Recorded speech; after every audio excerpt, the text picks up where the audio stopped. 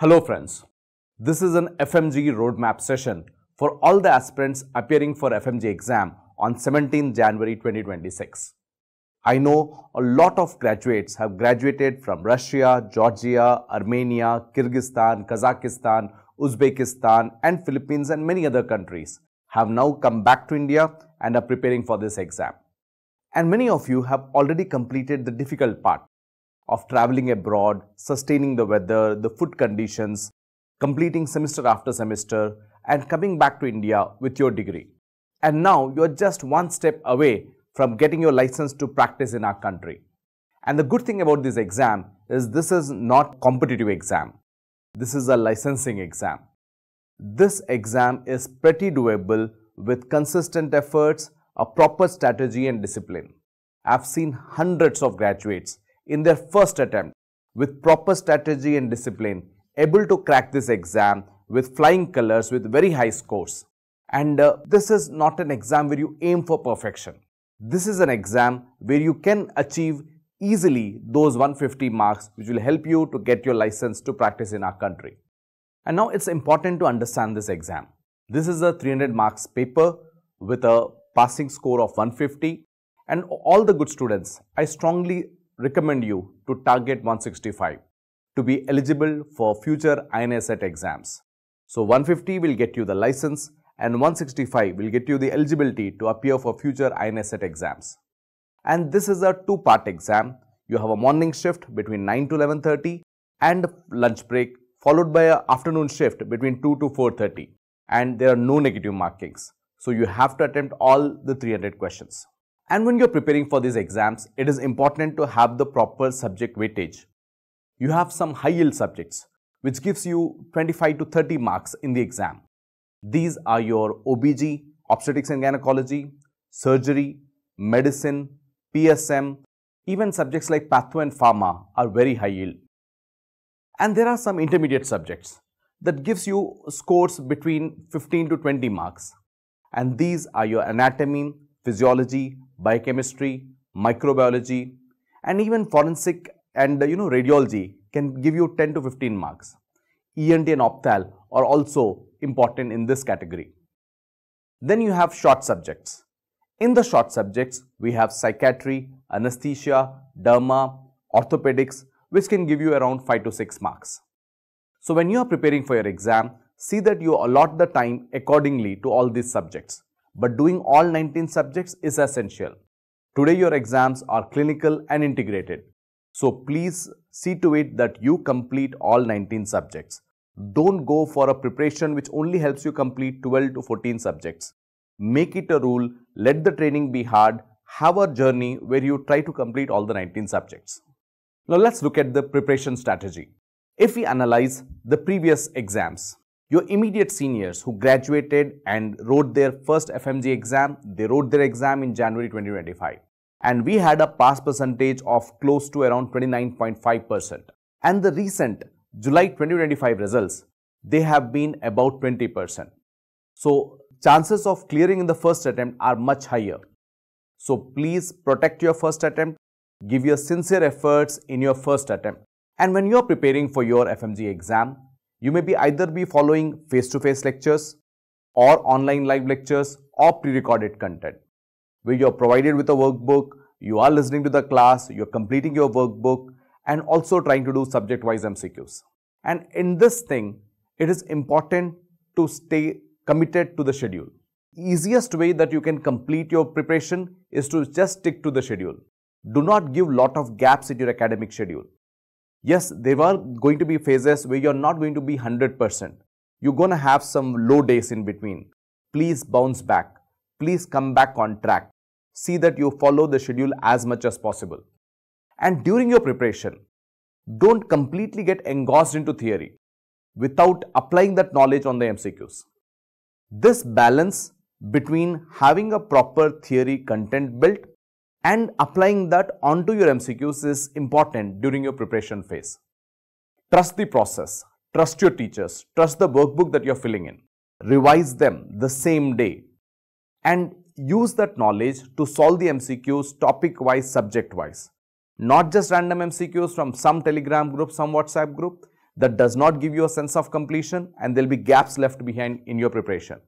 So please do the workbook thoroughly and do topic wise MCQs. You have done a topic of CT scan, go back and do MCQs of CT scan. You have done a topic of respiratory radiology, go back and do MCQs of respiratory radiology. Don't be completely engrossed and completely overthinking and overdoing theory. Don't be completely engrossed in, you know, blindly doing MCQs without understanding the context or the concepts behind. So this perfect balance between the theory and your MCQs is going to get you results. And uh, I see many students also looking at easy way outs. You want to do a very superficial content, a content of 2 hours, a content of which is very thin number of pages. Remember your exam is not going to see how many questions you completed, is not going to see how fast you completed, how many times you completed. He is going to test you do you have the concepts that are important for your medical practice. So do the subjects with the due time that they are needed. Do them well, do them nicely, let your training be hard and your exam will be easier. If your training itself is easy and playful, you will find the exams, the questions difficult. So please commit to this process. And if you follow a consistent schedule, if you follow academic calendar without lot of breaks in between and you follow it with discipline and consistency, you will surely clear in the first attempt. And during this preparation phase, it is important to take note of few things. It is important to have a proper sleep-wake cycle. It is important to restrict your screen time. Remember, we all have a limited energy packets. You cannot consume your energy going out dining, going out with friends for movies and stuff. It is important that you keep your energy, you have a short phase of preparation where you have to do all the 19 subjects. Every ounce of your energy should be directed towards your exam. And it is important that what kind of groups that you're keeping around you. Is it an academic group which is helping you evolve better in your academics, which is helping you solve your queries, which is helping you progress in your exam? Or is it a group that is keeping you distracted, negative, demotivated?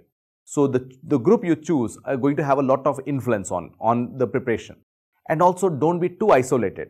It is important to stay connected to your family, talk to your friends, right? Stay motivated, motivate your friends, motivate each other. This is not a competitive exam all of you can get through this exam by scoring 150 and I have seen group of friends coming together, assisting each other and all of them scoring very high scores in the first attempt. Avoid your social media interaction. You can stay away from social media for this 6 months. Nothing will gonna change. The world is not gonna run away anywhere.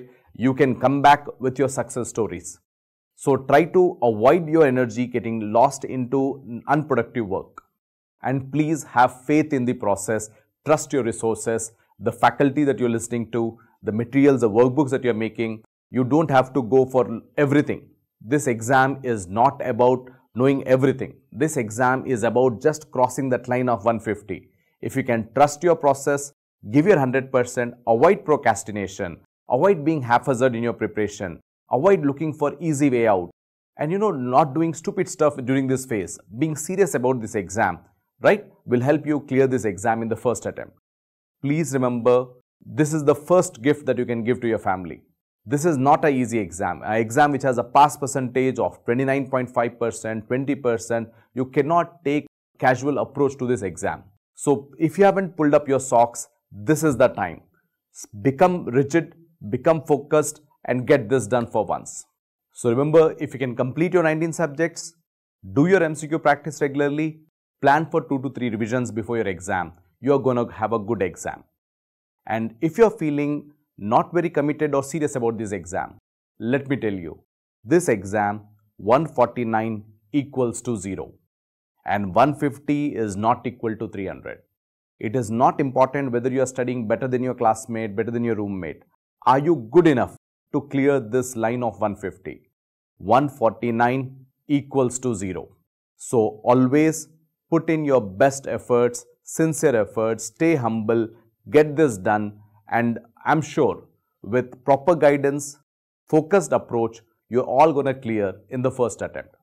And remember your internships that you're getting allotted nowadays is based on the high scores that you're getting in your exam. So 150 is not equal to 300. Try to aim to get more than 200. When you're writing your GTs, see that your baseline score is above 175 And uh, I really want to emphasize once again, if at all you are not feeling motivated, if at all you are not putting your 100%, please remember 149 equals to 0. All our support and guidance will be throughout your preparation journey. My best wishes that you get this exam done and give the first gift to your family with your licensing certificate. Best wishes.